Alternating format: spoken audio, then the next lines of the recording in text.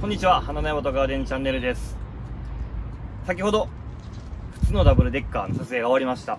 で、えー、まあ、また見ていただいた方はわかると思うんですけど、まあほぼ同じものが植わってるんで、ハネルとか似てるかなと思います。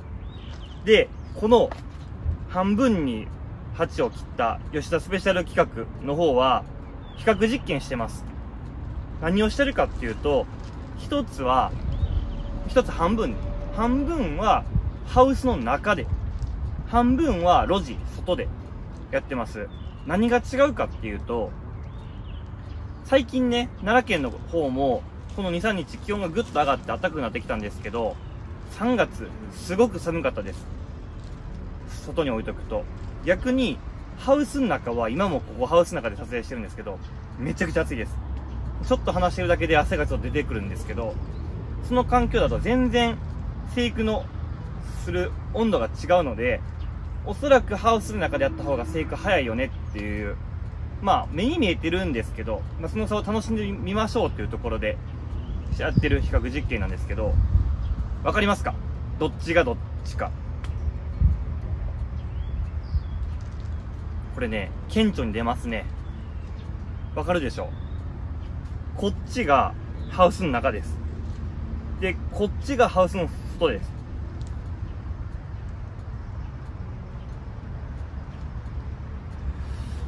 って思っても、黄色の花が咲いてないんですね、こっち。まあこまあ、半分に分けてるんで入ってなかったのかもしれないんですけど、そうですね。でも、若干ボリュームが多いように感じますね。あったかい方がやっぱり。うん。で、ここの品、ちょっとチューリップとか、後でまだ見てもらうんですけど、これは、多分、こっちで言うとまだ上がりきってないんですよ。なので、やっぱり、ハウスの中の方が暖かかったんで、ぐーっと生育が進んでるような感じです。で、また、根っこも見てもらうんですけど、しっかりね、ムスカリも、は、えっと、これね、一週間ぶりの撮影なんですよ。一週間前、ムスカリが全然出てなかったんですけど、本当にこの一週間ぐらいで温度がぐっと上がったんで、ちゃんと開花してました。よかったです。深かったんかなと思ったんですよ、初め。心配したんですけど、心配ご無用でしっかり、あの、下からぐぐっと上がって、芽が出てる状態です。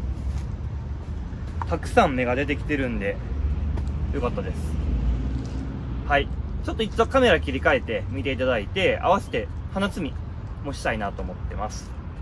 あ、ちなみに、前回、前回この前の動画で撮った、8005やってるダブルデッカーの方で、一番早い方では11月の20日。で、これは、遅れた12月20日ぐらいに植え付けた方なんです。なんで、やっぱり、若干草丈は低いように感じます。11月20日に植えたものと比較すると。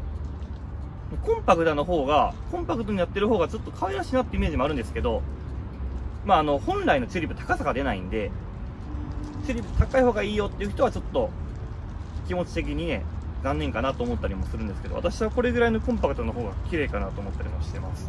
まあ、これは好みなんでね、まあ参考までにしていただけたらと思います。では、カメラ切り替えます。はい、切り替えました。これね、ほんと見るとすごいです、根っこ。昨日、今日の朝も、ずっと雨降ってたんですよ。本当にこの1週間近く。結構天気悪くて。なんで、水をあげなくても、もう本当これはし見てもわかるに湿ってるんで、ただね、ほんと今日もあったかいんで、水やりはしっかりします。水やりのタイミングはもう朝か夕方、気温が下がってから。日中あげちゃうと火傷してしまうので、その点は注意してください。花もね、しっかり咲いてますよね。ムスカリもね、ちゃんと上がってきて、問題なく、心配しましたけども、ちゃんと咲いてますよね。で、次のチューリップもね、見えるかな？上がってきてます。こっちもね、ほら、このチューリップ、これもチューリップですよね。新しい次の。はい。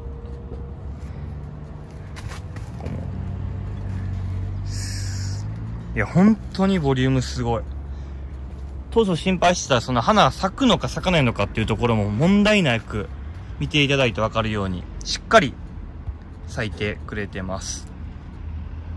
いや、ちょっと花摘みをしていきます。花摘みの重要性は前回の動画でも上げたんですけど、まあ、あの、日当たりがね、どうしても悪くなります。この花を残しとくと。あと、こう、傷んでくると、カビとか、その、ちょっと衛生的にも悪いので、病気とか持ってくる可能性があるので、摘んであげるの方がいいです。あともう一個、摘んであげることによって、まあ、球根に次、この葉っぱから光合成して、球根がね、太っていきます。そうすることによって、来年、また、楽しめる球根が出来上がるので、これまた別動画で次解説しますので、また楽しみにしていてください。こうね、取るのも簡単です。こう、クッキーの首の部分をプッとこれだけで簡単に取れます。これのチューリップも本当に2週間ぐらいは咲いて楽しめたので、やっぱりね、早く咲く分は、早咲きチューリップはいいです。すごいですよね。かわいい。このね、黄色の方まで残しといてあげます。で、次、パンジーもね、本当に綺麗ですよね。もうこんなに種類が。これは、これも、ちょっとかわいそうですけど、花摘みしてあげます。することによって、まださらに上がってきますんで、もう爪でね、ちょっと引っ掛けるように、グッとあげると、まだまだこうやって上がってきてるんで。で、こう、パンジーも花摘みすることによって、ムスカリが見えますよね、こうやって。ムスカリにも火が当たって、成長が促されますんで、可愛いですね。見てください、これ。こっちも行きます。ちょっともったいないんですけど、まあ、ボリューム多く植えてる分、日当たりがね、どうしても悪くなってるんで、ここら辺の管理はね、しっかりしてあげた方がいいかなと。もうこれは多分一般的なチューリップなんで、本当にちゃんと。これはね、どっちか原種とかミニチューリップに近い分ですね。はい。はい。これ、あの、こちらの吉田スペシャルも同様に花摘みをして手入れ終わりました。で、こっちがハウス内、こっちが路地、外で管理してる分で、まあ、生育の差も見てるっていうところなんですけど、ムスカリなんてね、顕著、見ていただいて分かるように結構ぐっと伸びてます。温度が高かった分。生育してるなっていう印象です。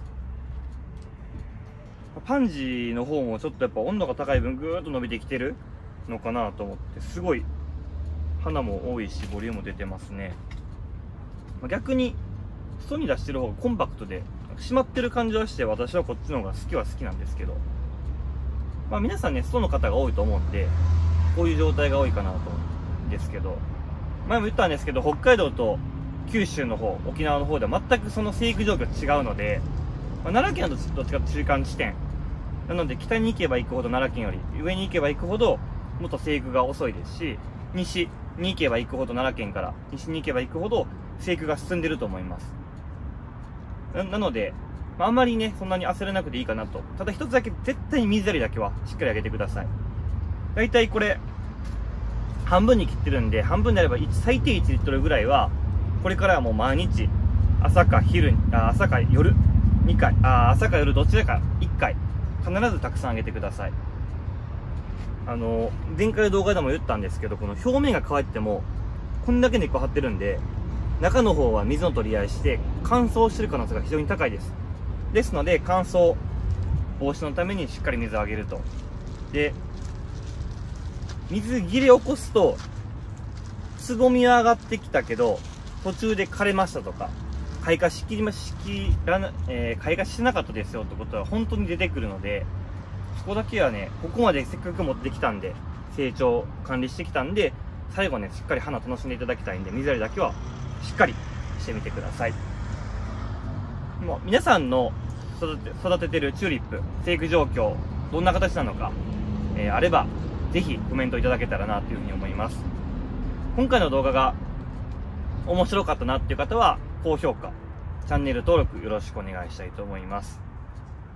まあ、この次以降もね、どんどん動画撮っていくんですけども、何かね、リクエスト、依頼があればぜひね、コメント欄の方にいただけたらと思います。